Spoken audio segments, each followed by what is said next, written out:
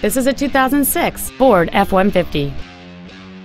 It has a 5.4-liter, eight-cylinder engine and a four-speed automatic transmission.